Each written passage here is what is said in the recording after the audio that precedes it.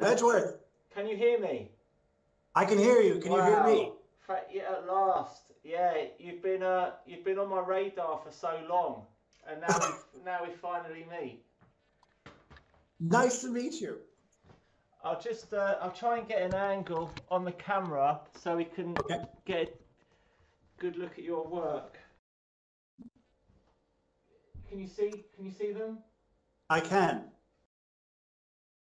I've just uh, I'll just show you something. Ten minutes ago, I've just received some clay, so I started sculpting a, a horse. Oh, very nice. So that's um, uh, uh, my um, I know I'm talking about myself here. I'm supposed to be talking about you, but um, my ex-wife Shelley has a, a daughter called Freya, who I see quite a lot of. And Uh-huh. we're, we're walking in the woods, and they had a, a class going, just people sat in a field making pots. And so Freya made that one. I Um, saw them. I saw them on uh, on Instagram. Oh right, yeah. I didn't. I didn't actually confess that this one isn't actually me. That's Freya. But the other three were, were the three of us just sat down and just started sticking our thumbs in clay. Oh. And and and, it, and so I ordered some, and it literally just arrived maybe 20 minutes ago. So So, so I know nothing about clay ceramics. Do you? Is something you're going to fire them, or are you going to paint them, you can air dry them? The, the, these air dry, they're air dry clay. Um, I spoke because I saw Billy's done quite a lot. Uh, Billy's mum actually, um, she she was a very good potter. Billy Childish. Child. Okay. Um, yep. His mum was a very good potter. Mm. So I told him, and she made these sculptures that look like um, sort of totem poles, but a lot shorter, but that that kind of thing. And uh, he, he he gave me a few tips on like he said I should glaze them, and and well I think he basically just said that. Right, Um, right. But yeah, so but I'm just making what they call pinch pots, where you just stick your Yeah. thumb in, sculpt it around your thumb, and um, and try Uh, make something. Yeah, I have a friend who does who does that now, and actually spends a lot of time doing that. He lives in Texas, and he made some beautiful, you know, pinch pots that just they were looked like they were sometimes some of them done on a machine, but some of them very rough and and, and nice. And he, he he glazed them up and added a lot of little detail with fine knife and stuff like that. Where do you walk in the woods in London? Where do you find a woods? Highgate Woods.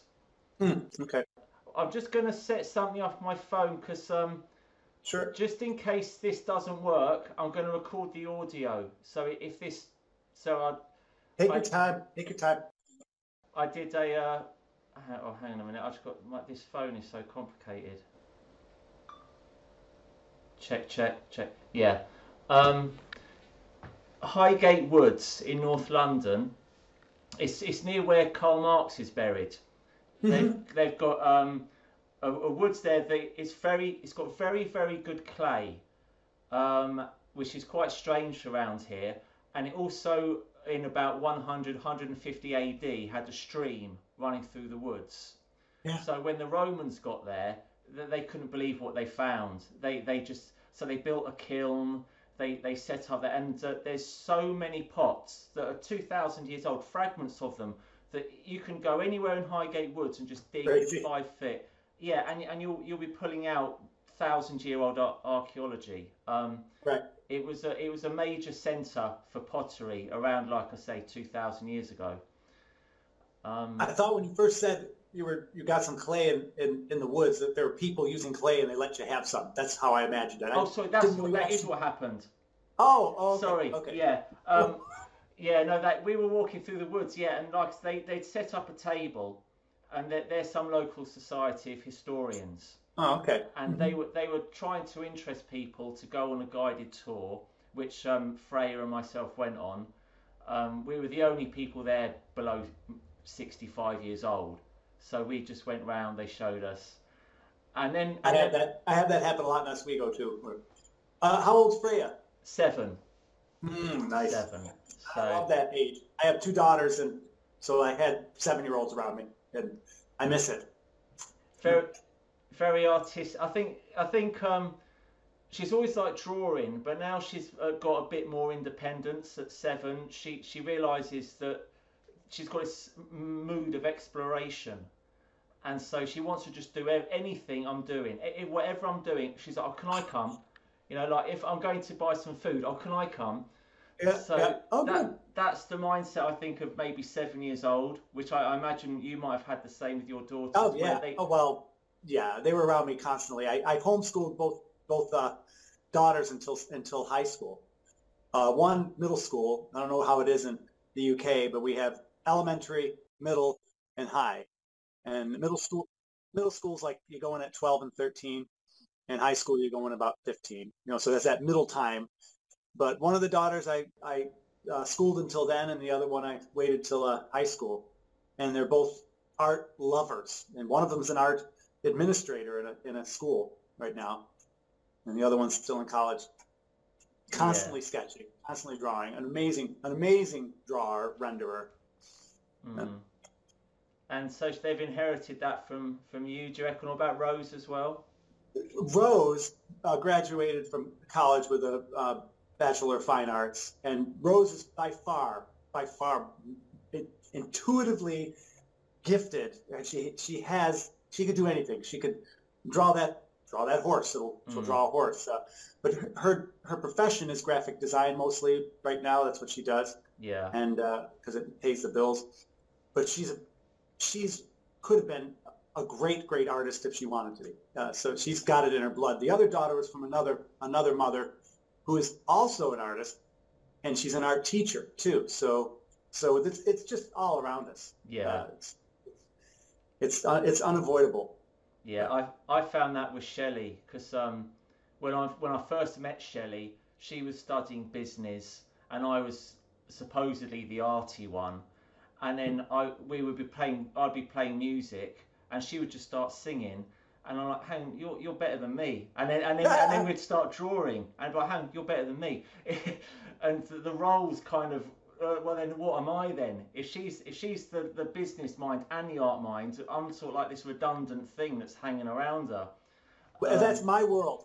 Yeah, it's so it was a bit emasculating at first, but then one, once you think, well, okay, now now I've got to get more aggressive with what I'm doing, and it was this competitive thing between I felt because Shelley was so naturally gifted.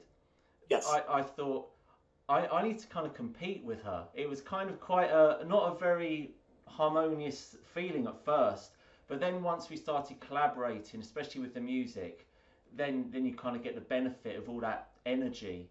And we did. That's this... what we're, and I'm doing that with Rose right now. That collaboration with music. It's just yeah, not not as uh, not how I would like to be doing that with writing our own stuff, but right now it's just getting involved with covers and things like that. It's it's fun, but that's very interesting. A lot of similarities.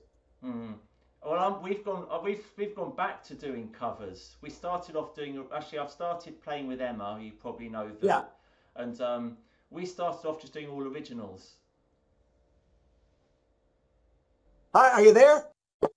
So what's? I've got your work on the wall. Uh, the second part of your show. I just put it up maybe half an hour, an hour ago. Um, and I don't know, because I, I just thought, well, just see see what you're doing, just find out a little bit more about. I've, you've got some things online already, um, where where you introduce yourself and your artwork.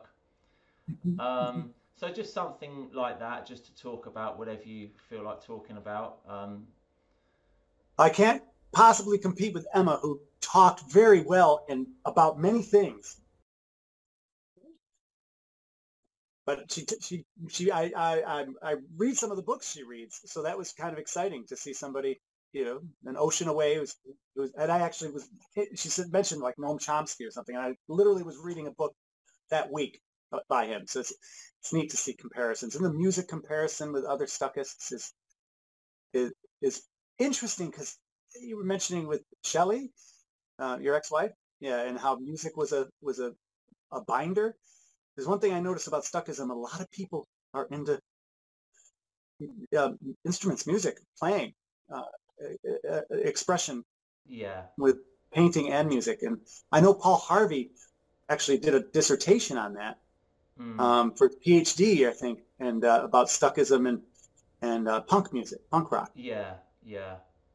And I, I read that and I was like, wow, yeah, I totally get that feeling. I have many friends, uh, not many, couple who would know this sort of thing, who say, uh, you know, what I do is very punk.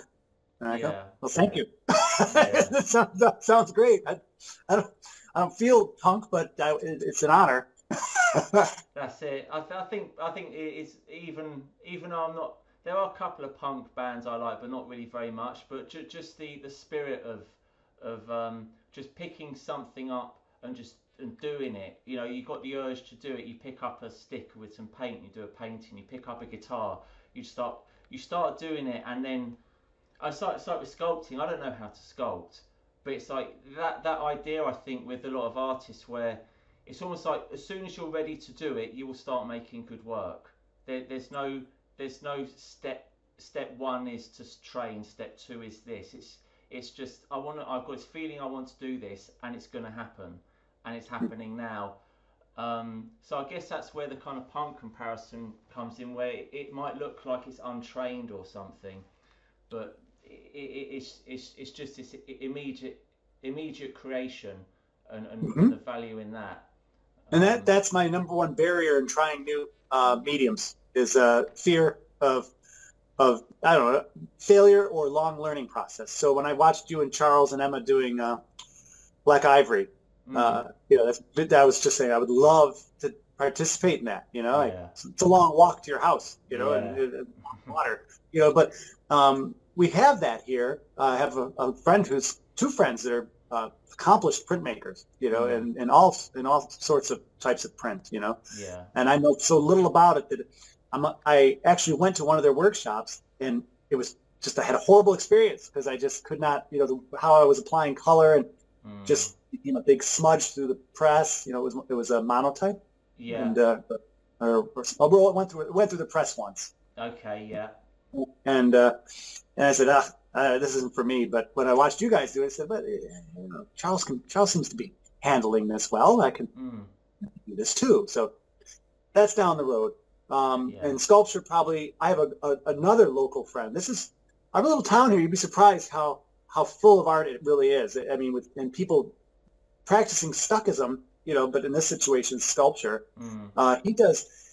I love what he does. He drives out to Massachusetts, which has um, many marble quarries, and he just gets the, the stuff they throw into the ravines and pulls out these, you know, hundred pound or two hundred pound rocks with help, and throws them in his car, and, and comes home and, and turns on the all his machinery, and he makes some beautiful stuff. I'll, I put up a, a piece uh, on Instagram a couple days ago that he just dropped off at my house.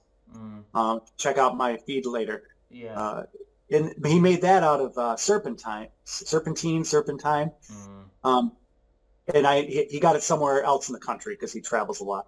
yeah, Um, but I look at that as like a, a form of uh, stuckism too, and, and punk, and because he has no training, but he's definitely ready. And, and for ten years, he's just been putting out this great stuff. yeah. It's it's ama- it's amazing how it could just feel really good. Like make when I make stuff, I just feel that it's really good, even though I know that the the technique isn't there. Um, on my first painting, I just thought this is amazing. So it, it there, there's and, and in fact, I always say to what Van Gogh said, anything done with love is done well. And Yeah. if you've got sometimes the, the technique can maybe disguise that, so you might have a quite of an uh, we might have a sort of unfair advantage in a way that there's there's not a lot we've got to fight past or unlearn in in a way to, to to just sort of say something. Oh, look, like I've done a horse. Now hopefully somebody will see that horse and think, well, that's sit think what I think of it. Just this, you make it and it feels finished and Mhm. and and ready. Um, there's a there's a guy lives in Massachusetts. You know, uh, you know the band Pixies. Um, Oh, of course, uh, Black Francis, but uh, Charles Thompson. That's right. He, the other Charles Thompson. He, I think he puts his paint. He started putting them in the oven or something, and he started looking instead of like going for linseed oil, he would just try these other th- quite industrial materials, and um, I, I don't. I, th- I think he just wanted. He thought, well, I, I've got paint. I've got all this stuff. What can I make out of all this stuff? So he's kind of setting his own learning. Le- He learning put his paintings in an oven. Yeah, yeah. He he he's, But- I don't know why, but he, the materials he uses, like he, he had some old blind across a window, and I thought, well, I'll paint on that. So he goes out and goes, well, what shall I use as a painting medium? And he wouldn't just go to the art store. He would maybe look at other other things you could mix with a pigment and what you could do to that to, to make something. And um, and uh, very much like with Charles, uh, the other Charles Thompson, the English Charles Thompson, when he came here. I mean, I had a mangle press that he could have used if he wanted to, but he, he thought, well, no, I, I don't know. I'm just going to see what I can do with oil paint. And uh, he just squeezed out lots of oil paint and merged the colours and then put paper on top. And he done all these all these bits of paper were coming off that were, I guess, what he would consider f- maybe failed attempts. But eventually, he just came up with, with with some process that I tried to copy and couldn't.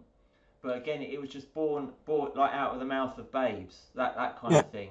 It ju- it just Yeah. comes up, um, Yeah. and it, you get fantastic results. Um, Yeah. What's that you're working on? They look quite accomplished hills and mountains. That painting. This? Yeah. I. Can I pick it up a little bit or no? yeah. Let's see what happens. yeah. Can you see this? Yes. Oh, it's, a, it's, it's, a, it's yesterday. I began a painting yesterday. It's a, it's a big one. So it's actually Rose and me in bed with a landscape in back. You see it? I can see Rose and the landscape. I can't see you. See the, the see that guy with his mouth open and the eyes wide open? Oh yeah. Yes. Yeah. But uh, this is just sketching out a painting that I want to finish in a couple few days. We'll see what Mhm. happens. It's uh, it's an, what I lack of funds has made me start un, um, undressing a lot of old paintings that I that I uh, put up on stretchers Yeah. and uh, rolling them up. Uh, you know, like you know, like big, you know, paintings. You know, I roll them up and, and store them. Yeah. And uh, to, because wood's very expensive right now in the United States, so I can't go make it my own. Mm. I mean, really crazy. It's it's gone up because of uh, the I don't know, COVID and trade. Yeah. So so uh, and nobody's buying any of them, right? So, so you just just unroll them and hide them hide them away. Yeah. And the canvas is is affordable. So for you know, you get eight feet of canvas, it's only I how, how this converts to uh, pounds, but it's uh, forty bucks or something. So so this big pound or something. Yeah. Yeah, and uh, and I have a show coming up in in Oswego here. It's a fundraiser for the art association. So everything I make in the show is going to be for uh, for sale for fundraising. I'm not going to take any money Mm. from it. I'm trying to get more involved with people instead of hiding out in the, in the basement Yeah. studio and uh, promote something else outside myself. Yeah, try something Yeah. something because I'm not getting rich at this, so I might as well help somebody else get rich. and you never know. I mean, the more, the more restrictions we come under, I think I think the better results sometimes you get. When I actually when I threw out my mangle press, I started. I, I realised I was actually better off without it, and um, we've got a cost of living crisis here in, in in England. I don't think it'll be long actually for the pound and the dollar. It, it, effectively the same amount of money.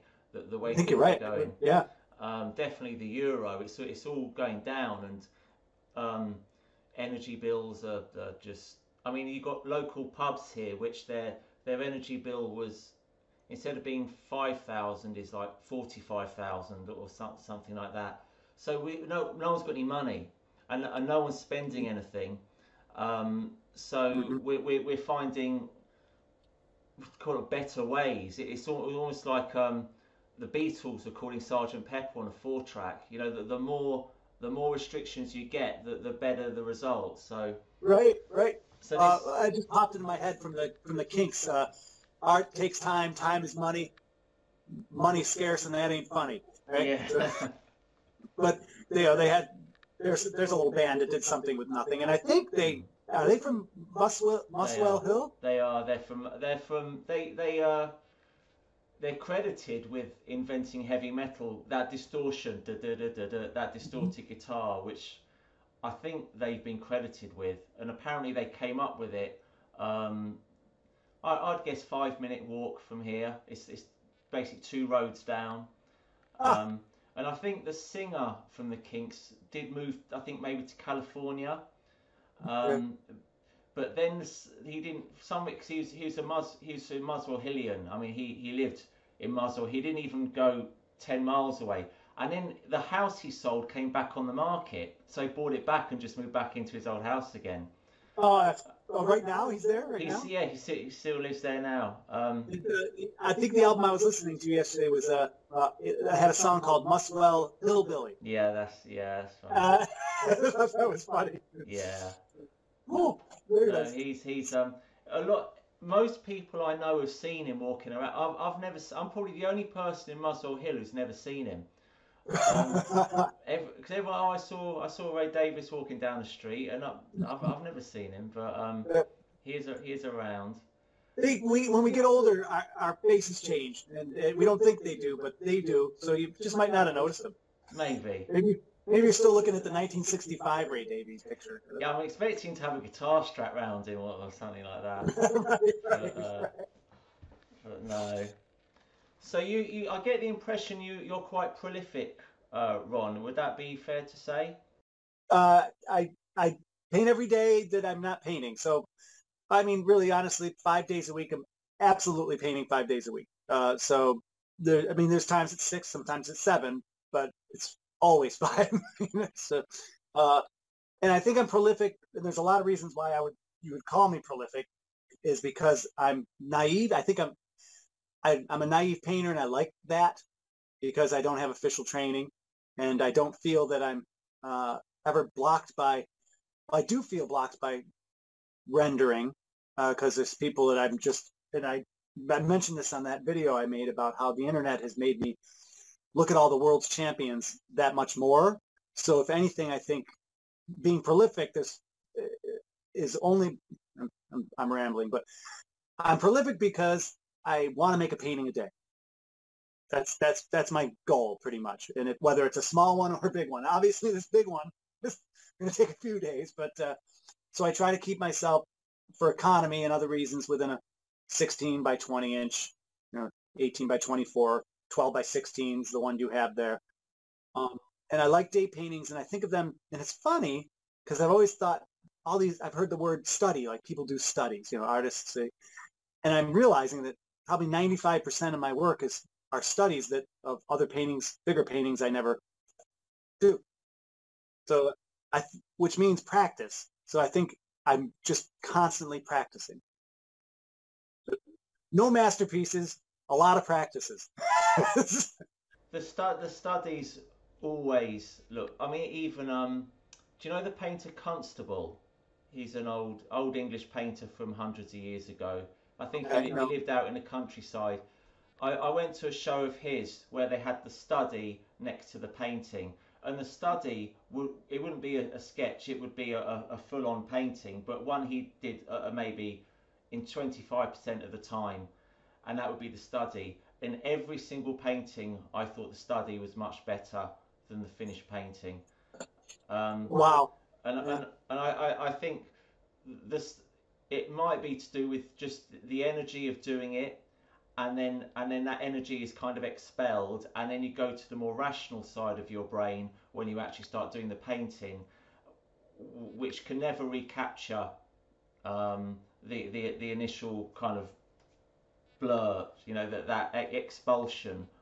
I, I, I- he he just they they look more like um il- illustrative forgeries. They look like forgeries. very much get what you're saying I because that's how I feel. I'm not definitely I'm not a good judge of other art. Um, as, like what you just mentioned about noticing somebody's feeling and expression, that I do notice. I do I look for that, but uh, it, well, that's just what I look for. Probably because they mirror my limitations. So I think we all like to look in the mirror, you know. So it's like so that's I like to see other people doing things that I think it sounds horribly cowardish, cowardly, but you know, that I could do, you know, because it makes me feel like there's more out there like me, because there's there's so many world champions. There's so so many. I mean, uh, Instagram kills me. It really does because I look at some amazing work on many levels, and uh, it, it might not hit that that slapdash energy expression that I look for, but I think that hampers me because then I start to think, well, I, could I do that? You know, can I can I make that? I don't know Turner landscape or something, you know, that these people are able to make, you know, and the answer is always no. So, so then I, I'll, you know, hide out and come down here and try to stay away from the internet and, uh, and uh, just do what I got to do. Yeah. Uh, yeah, sounds sounds like a, the mindset of a maker. So, like I, I I'm I'm very much the same. I'm I'm hmm not a massive fan of anything, e- even like Picasso, Jimi Hendrix, people who I would say the creme de la creme. I think Right. they're amazing, but I'm a maker, and I think maybe I I identified what you just said there. I'm always just relating it back to myself and my work and how I could use that for my. And I think I've just accepted that that's who I am. I'm not. I'm not. I'm not in the audience. I'm not interested. I'm. I want to be the doer. And I think That's there's you. There's uh, myself. There's a lot of people I know that then they they'll talk in very high regard about a lot of other people. But I think deep down they, they're not really that interested because they, they, you've got to do your own stuff. I mean, I'm too busy to be in awe of anyone. I've got to get on with my own work. And I. I think that's a very healthy, I wouldn't call it in any way cowardly. I, I think it's a very healthy Oh, mindset good. for you to have. Okay, good. Yeah, I, I actually, I'm just maybe I'm just trying a little forced humility, you know, humbleness, but uh, no, I, I do think that that's what keeps me going is constantly t- uh, testing myself, constantly just it's it's about watching what I'm doing. That might is it narcissism? It, I guess it would be narcissism if it was successful, you know, if I, if I got some dates, you know, but I'm not getting any dates, so uh, maybe more like a, a, a, fool, a fool's errand. But I, but it's I'm very fortunate in the place I'm at because Rose supports this. Otherwise, I'd be screwed. Yeah, excuse me. Um, I'd be, I would never be able to put out, uh, you know, work in, in any form. I also like to write, you know, so the t- and that takes time. You're a writer. It, it takes time. Everything is time. So without time, I could never support myself doing this. So I'm one of the, uh, I'm very fortunate, privileged in that regard. Me too. I'm, I'm, I live in my, what was my parents' house, and Okay. and it, like I say, the the need to commercialize what you're doing would, in in a in a sense, destroy it. So to na- navigate your life, I mean, in a dark way, it kind of broke. That's really what I'd say broke up my marriage was because it, it really was one or the other, and fortunately, I mean, I hate to say it because divorce is never good, but I think Shelley and I ended up in a, a good place where it would just would not have been possible had we carried on with the need to support ourselves. And you know, she wanted to have a child, so I'd have been obviously materialistically responsible, and and so that that just wouldn't have worked. Um, so yeah, I mean, you, you're you're you've got a wife who uh, seems to be a, real savior for for you. Right. Well, and, and I'm gonna toot, I'm gonna toot my horn in this is because I mentioned earlier how I homeschooled the kids. Do, do, do you have homeschooling in um in the UK? Yeah. So here, a lot of it, a lot of it's uh, connected to, uh, unfortunately or fortunately, to uh, born again Christianity, which is like a uh, that's not that was never my take in it. You know, for goodness sake, I'm reading Noam Chomsky. You know, it's like the Christians would kill him. but it was always about education being really important. Uh, my grandfather left us money to be educated, and it's just been in the family to because it was the only way out of the working class here in America. It's just to just to be able to get that desk job would have been important for a lot of people if you don't have creative means or the bravery or whatever you need to have. But what I'm saying is I I gave a lot of my time in the in the girl's life. So I freed up Rose to have a career. So yeah, so it worked out because she really likes her her career. It's not it's not drudgery for her. So she's it's a very creative job she has. She's uh so she markets a college, you know, so she does all the you know uh, visual stuff. She's a photographer. She's very getting to be very creative all the time and get paid.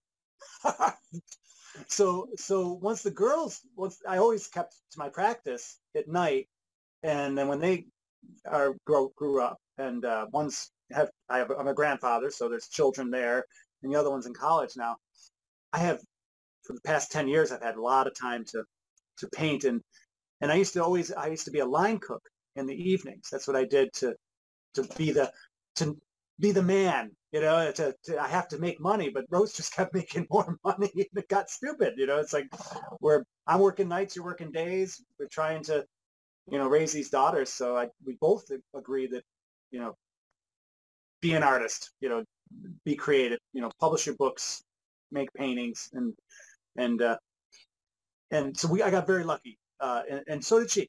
So, you know, so it's, it's not, it's not a take thing going on. So, so that's good. It.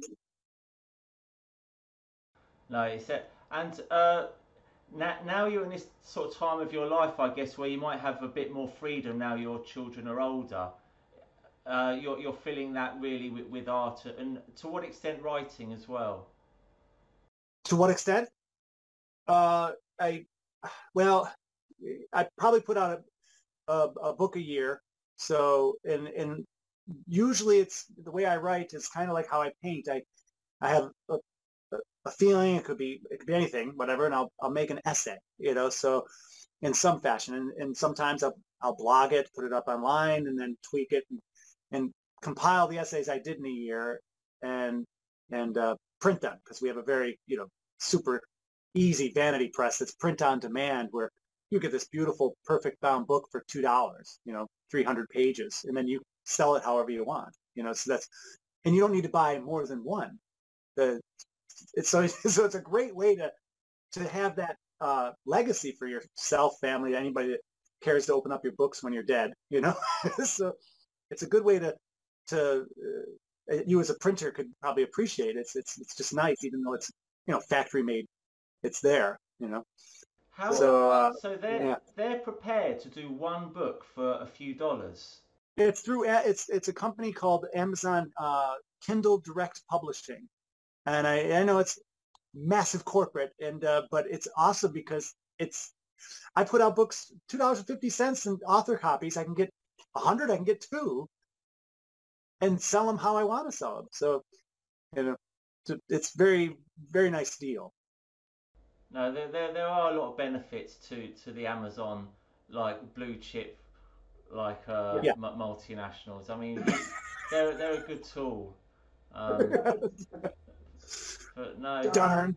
Yeah. So this feeling like you want to do a painting a day, I don't know if it's the same as me, but I, I don't like going to bed unless I've done something. You know yes. what I mean? I feel you, I need to create. It's, it's really weird. It could be it could be a fine uh, a, a fine meal. I love to cook because, like I said, I was a cook for many years. So it could turn into Rose's dinner, you know, when she comes home. Uh, but it's got to be something and I know you have that. I you have that. Let me let me you know make your head a little bigger this afternoon or evening, whatever it is for you. Is you're one of the few out there that really really creates all the time. That energy insane. I don't come close to that. I've got only because I've surrounded myself with people who keep on prodding me. I mean, like every, every Monday I go to Billy's, so that's Monday oh. done. I've got no choice. I have to paint all day Monday, or, or at uh-huh. least for a few hours. And then I think, well, Billy always says, "So, Edgeworth, what have you been doing all week?" So I've got to report back. so I've got that there's pressure. A, there's a song Andy Warhol uh, by Lou Reed, and uh, he's ta- it was a hom- homage to Andy Warhol. Let me see if I can get the quote right. Uh, basically, he's asking Lou Reed when they're young, you know, how, how, how, many songs did you write today? And Lou Reed wrote zero, but he told him 10. And Andy Warhol says, uh, 10, uh, you're not going to be young forever. You should have wrote 15. So that, that, that, pressure, even though Lou Reed say, I didn't write anything today, he lied. So maybe you can lie to Billy. it might be good if I lie because then I'd go home so scared I'd get caught out. I would I would write ten songs. You know I mean? I, have told him I've done it. Um, the the band Oasis. Do you, do you know them? They're yeah. No, I'm sorry. I don't. I'm very yeah. Okay. Not uh, Noel Gallagher was the songwriter, and they're talking to this guy from a record label, and uh, he just wanted to get the band signed to this big record label. So he said, "Yeah, like we've got the album, we're ready to go. We got," and it's complete lies. And then he's on he's on the bus on the way home. He goes, "I've got to write an album now because I, I and it's the, probably the best the best lie. I mean, lying's maybe sometimes underrated. But if you big if you big yourself up with the lie, now you've got to go and do it, and it'd be a great incentive that fear uh, of being Yeah. found out. Absolutely. So so it keeps you going, and because you're true to yourself, and you, you you're gonna you might lie, but you're gonna, like you said, come back and write those ten songs. And Emma comes here every Thursday, um, and I imagine maybe is that do you reckon maybe why you gravitate towards the, the kind of idea of a community for, for Mhm. motivation, so it effectively ends up being productive.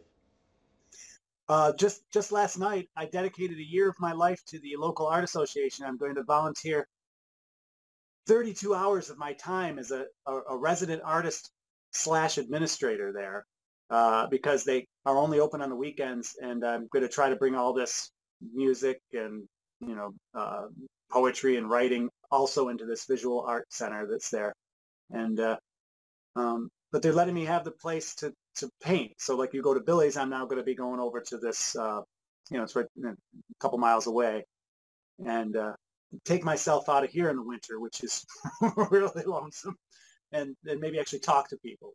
I think so. I mean, and we, we Emma and I did a show. Actually, I think Charles was. No, he wasn't actually. It was just Emma and I. We did a show um, in a place called Archway, which is about a, a 20 minute walk from here.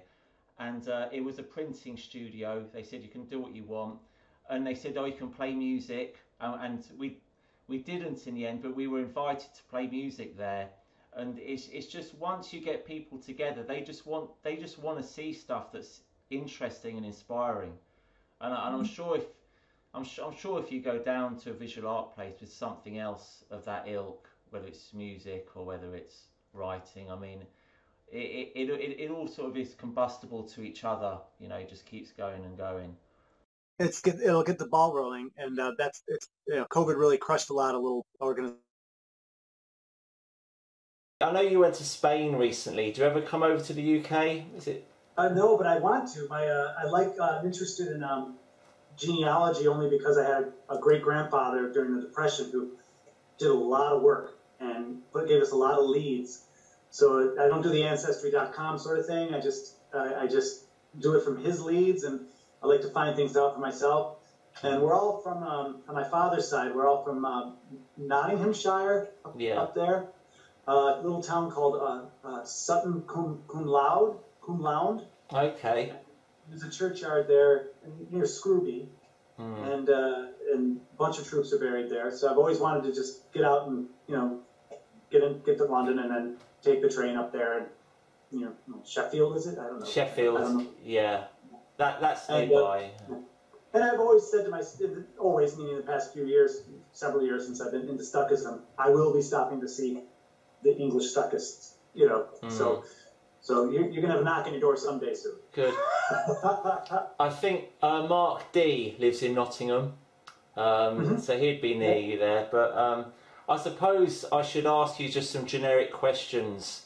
Um, I mean, I, I guess that the first the first would be, uh, how did you come across Stuckism, and, and what what do you like about it?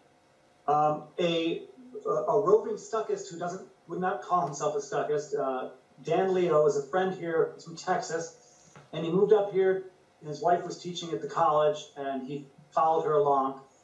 And he's an he's some of those people who are artists through and through, like how I consider you are. And uh, he's just constantly creating and, and, and just looks at the world very with a very bright eye. Is very he just has a lot of energy and happiness. And uh, he told me about Stuckism in 2013, 2012. He says you got to check out. He sent me a video, and it was an exhibition somewhere in London that was going on. It was a Stuckist exhibition, and for somehow they mentioned the right words, uh, you know, in the video about, you know, you'd like.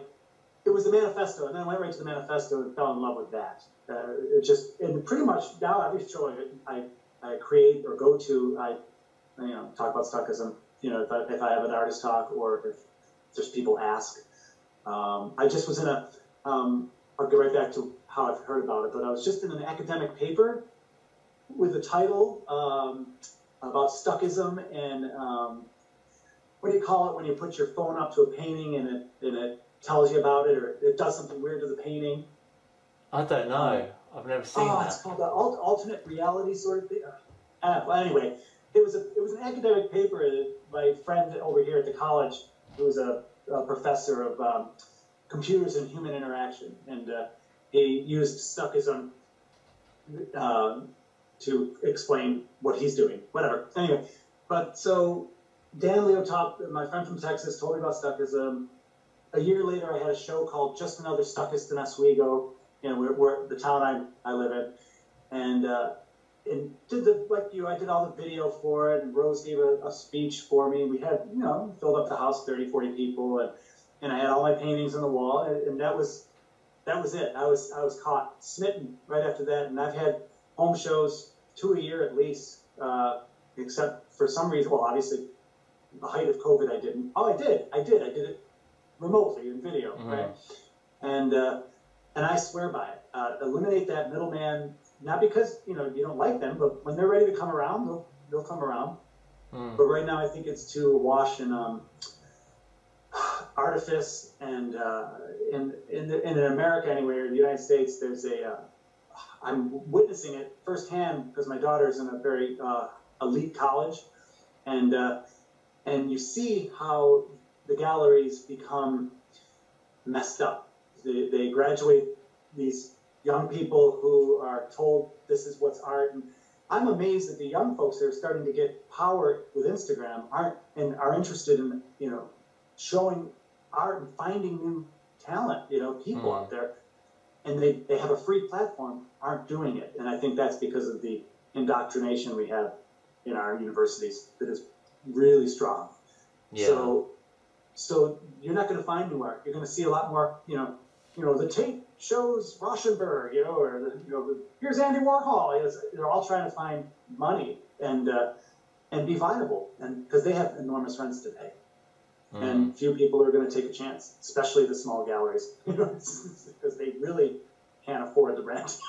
yeah. So, so Stuckism rules. Every, I mean, I love, I love everything it says. The, the precepts, to, you know, Mm.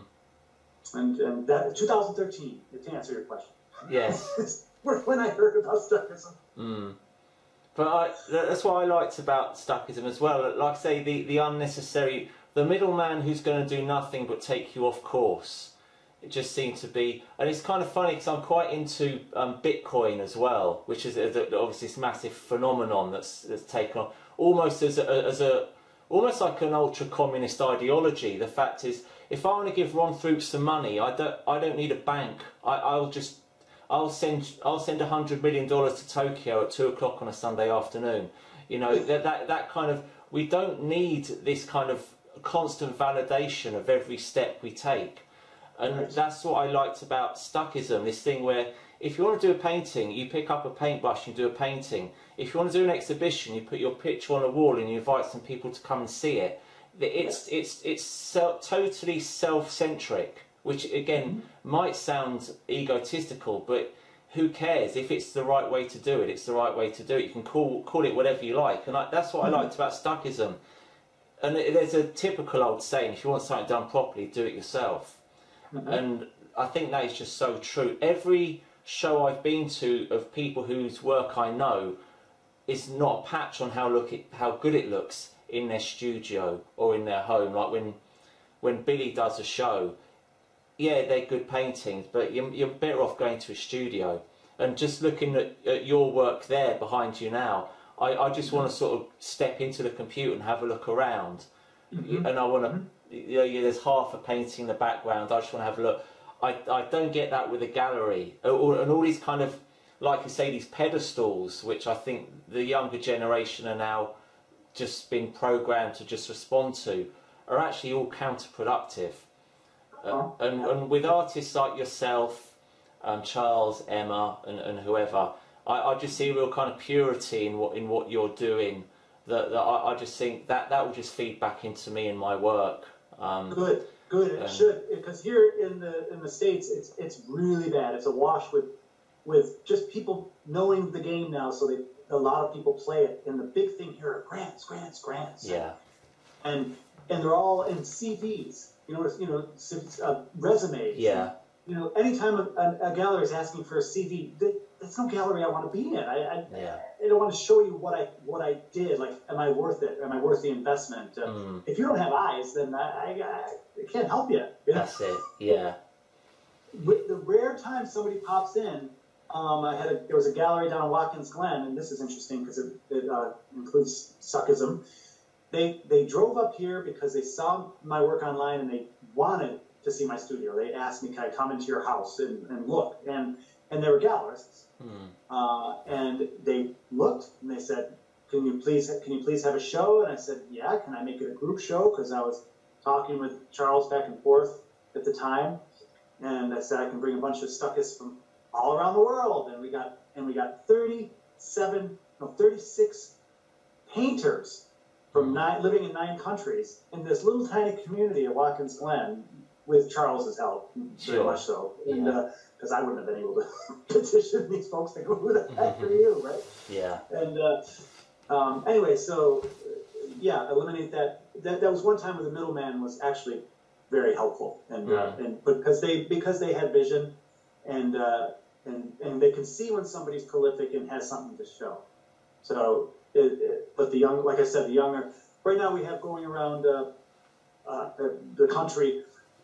I don't know if you have this there. It's a Van Gogh exhibit, or Van Gogh Van Gogh exhibit, Yeah. and uh, it's not an exhibit. It's like a, a visual video presentation with with with all this you know painting. It's like a psychedelic weird thing. You go sit in in a room and it circles around you and go, oh my god, they're destroying everything. Yeah.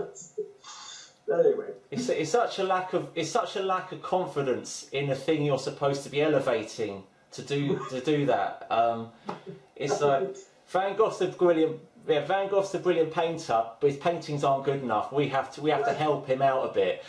They It's, probably um, couldn't get his paintings. They can get access to the digital rights for the show, and that's why they did it. So they can just make these videos. I don't know. Yeah. Well, your your work, um, it looks fantastic. Um, when I when I put them on the wall, they, they just it, the, the, it's, it's self curating. I, I don't plan where these pictures are going to go. I just put nails in the wall. They go up, and That's And how I. That's how I do it. When yeah, Any, any any show, even someone else's. If I have a friend who I'm showing in my house, I, I just wing it. Thank Yeah. you, though. That's that's kind. no, no, no problem. Um, I should probably wrap up. Is there anything you wanted to say um, in this video that I haven't sort of prompted you to talk about? No, um, no, I, I, I don't think so. I really thank you for even offering. And uh, I told you I was going to have a debate about getting the. Uh, uh, you got to give me your uh, PayPal or Venmo. Oh, don't worry. Um, that Yeah. I'm I'm okay. I'm I, I, it's no problem. Would you like a quick? Uh, can I walk you? If I can, I make a non-verbal walk around the studio so you can see the basement where I work. I should have asked you to do that. That's a brilliant idea. Okay. Uh, see if it works. Just you tell me. If, just uh, I want to hear because I can't see you. So just let me know if you're seeing stuff. Okay, I'll keep quiet unless I need to. So, um, yeah. So I'm looking outside my window. Okay.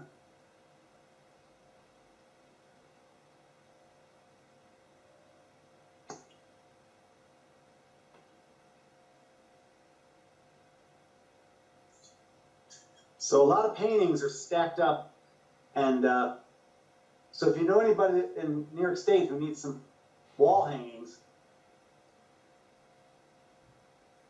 and then boxes of paintings here, and uh, some uh, my friends, some Russians, sent some paintings. I have them down here until I can put them back upstairs.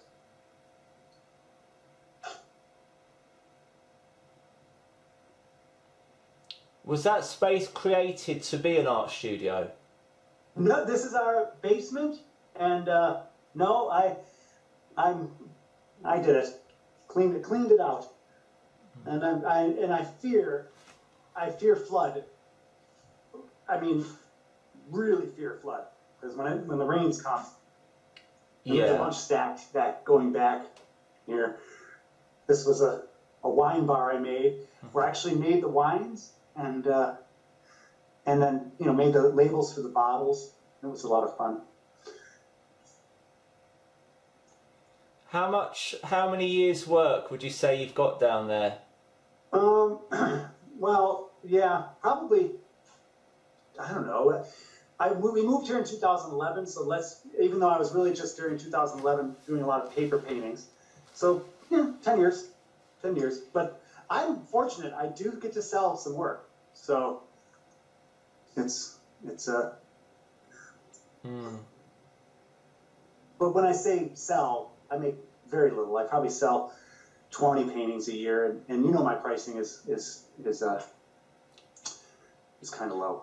Yeah. And I have a I have a method of pricing that I had a show last year called How to Price a Painting, and um, for me anyway. And I and I thought it was kind of cool because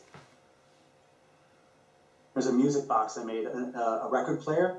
So you open it up. Can you see that? Mm, yeah. In the can you see the Brilliant. put your album album art there and and stuff like that. But I came up with this. Uh, so my friend the other day he saw the empty uh, the empty uh, uh, canvas and he said paint a corpse on that. And I said okay, and I couldn't paint a corpse, so I just started to draw make a corpse, which is there, me, and then I had Phil Rose in there too. So I guess if I, I'm not gonna, I don't want to take your time. So thank you very much. Th- thank you, Ron.